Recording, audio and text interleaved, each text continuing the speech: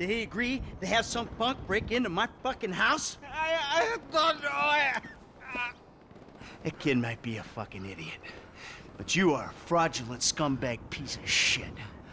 Ugh. Don't make me have to come back here.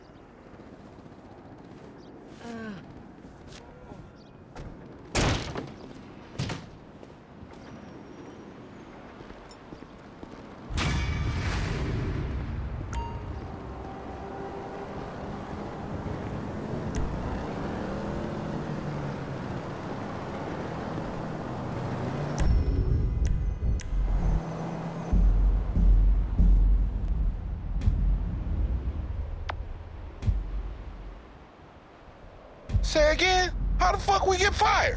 Man, it was partly all that bullshit you pulled, and partly the repo's old man making me crash the car into the dealership.